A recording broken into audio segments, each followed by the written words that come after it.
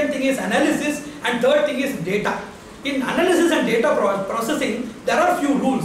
One is scalability, second is usability, third thing is availability, fourth thing is manageability, and fifth thing is customization.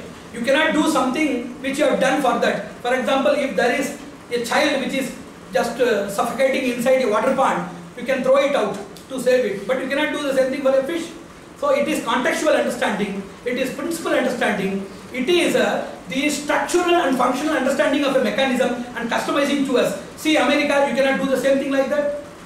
See Tata and Birla, you cannot do something like that. So they are having their own existing resources, environmental resources, and their courage and their exhibition mechanism is different from that of ours. Unless you are simple, similar, identical, and so what conducive or so what be a good conductor to adapt the same things. You cannot blindly imitate or follow anything. This type of hasty generalization and blind imitation is a death bell to the business intelligence as a business proposal at all. So what you want to understand is something that is entirely different from what it is, it should be brought into customization.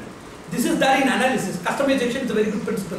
And ELP, you are going to read it later. ELP is maintenance of cross-foundation sourcing and cross-platform resources with efficacy or effectivity along with productivity studies. Then is cost studies. What is the internal development cost? What is the external development cost? Like hardware cost, software costing, training costing, maintenance and management or sustainability costing. These are the cost mechanisms. What is the benefit? Benefit is of five types. One, what is the benefit to the customer or the client? Second, what is the benefit that we receive in the form of cost?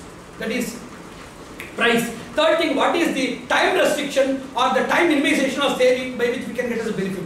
What is the type of benefit that we can get by maintaining proper employer-employee and mutual employee relations? If all customers are satisfied and if all employees are dissatisfied, it will not be a successful organization. That is also there. So customer satisfaction, employee satisfaction and integrity and maintenance of everything in a proper balanced predictive methodology along with maintenance of time as well as profit as well as energy and risk to get all benefits. Somebody told that they have invested 1 lakh and they are getting 1000 rupees per month. No doubt it is safe but it is not developing. If somebody has invested the same thing in business, business does not only invest money at all. Money, time, energy and risk. So they have to get four times what they can get from any bank. If you are afraid of your own energy or if you are afraid of the circumstantial favor, you can go for a bank. But for a promotive investment, it should not only pay for mere money. If it pays for the mere money, it is mediocre business. If it pays for not only the money, apart from which you can get also for your energy, risk and other involvement exercises, that is a superior business. If you don't even get for the money that you invested, that is an inferior business without which uh, you should just take rest or you can be just in some other tourism or pilgrimage, you can just spend your life without doing the business at all. This is known as customization, ELP, cost management and then benefit assurance. And there is one more skill in this ideology that is business intelligence which is known as solution mapping. You are going to read or you must have read a glimpse out of it. The solution mapping is to take the problem, it is known as problematic studies, take a problem and just disintegrate the problematic uh, hierarchy into various impact on various levels. For example, the recession's impact in various people is different from each other. The same impact cannot be from all other people. For example, there are a lot of innumerable things. One is recession. Second is US-led economy. Third thing is offshore investment problems. Fourth thing is fall of IT empire due to this recession and other things, various things, etc. Then recently Dubai economy collapsed.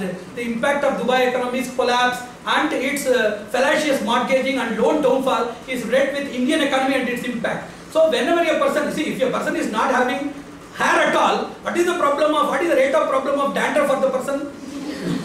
so the rate of influence, direct influence, indirect influence, immediate influence, remote influence, considerable influence, negligible influence or framal or infinitesimal influence is all the various influential studies of various these things.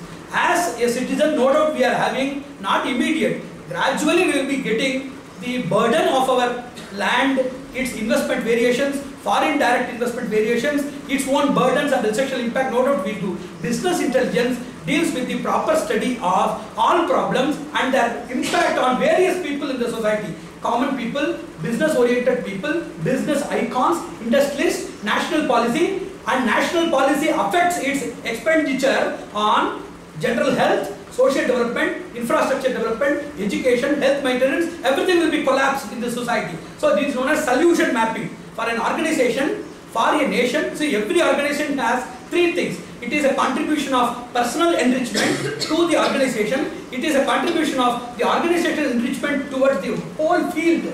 And it is a field investment for the nation and national investment for the global. It is known as the hierarchy in the ascending order for each and everything. Likewise, impact will be in the descending order. Global impact on nation, nation impact on fielding, field impact on your organization, and organization's impact on you that you are sent to home to take rest till the next announcement. The announcement is to be heard from somebody else. So it is what we call the hierarchy in the ascending and descending order. Solution mapping is the only way for understanding all of these things.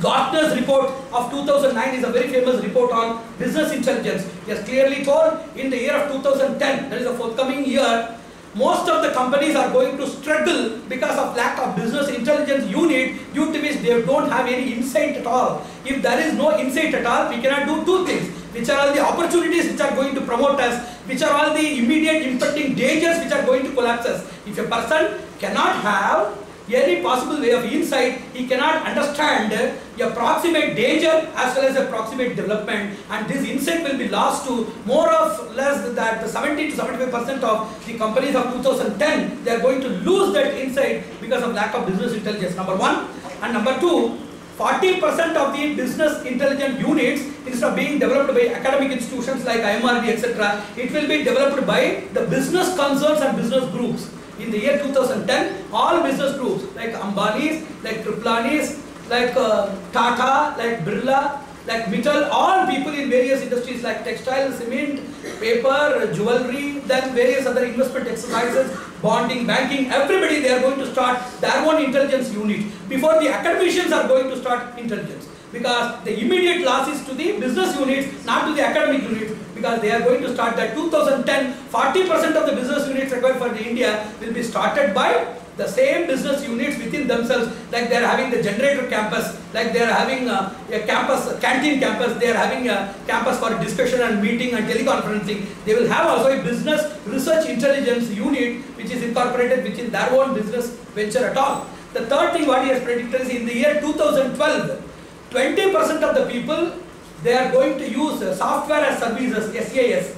They are going to use 20% of the people they are going to develop SaaS, software as services for getting into business intelligence.